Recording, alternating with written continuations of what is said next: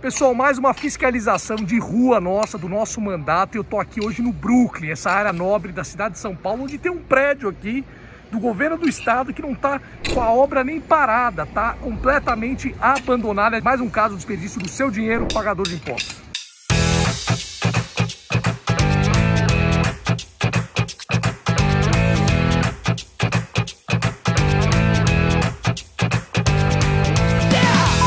Prédio aqui, antigamente, ele abrigava a Procuradoria de Assistência Jurídica para atender casos cíveis. Só que lá para 2010, mais ou menos, tiveram a ideia de reformar esse prédio aqui para abrigar a Superintendência de Polícia Técnica Científica e receber também a quarta companhia do 12º uh, ah, Batalhão da PM. Só que essa obra iniciou, essa reforma, no dia 21 de 12 de 2010, tinha o término previsto para o dia 17 de 12 de 2012, só que ela foi paralisada. Era uma obra cujo valor inicial previsto para ela de 2 milhões 186, cerca de 2 milhões 186 reais. A obra não estava sendo concluída lá para o dia 2 de janeiro de 2013 Uh, constataram que a obra havia sido abandonada pela empresa responsável, a Anguera Construções Limitada, e sem aviso prévio. Já foram gastos 787 mil reais nessa obra, que equivale a 36% dela. E para piorar a história, em 2017, o Tribunal de Contas do Estado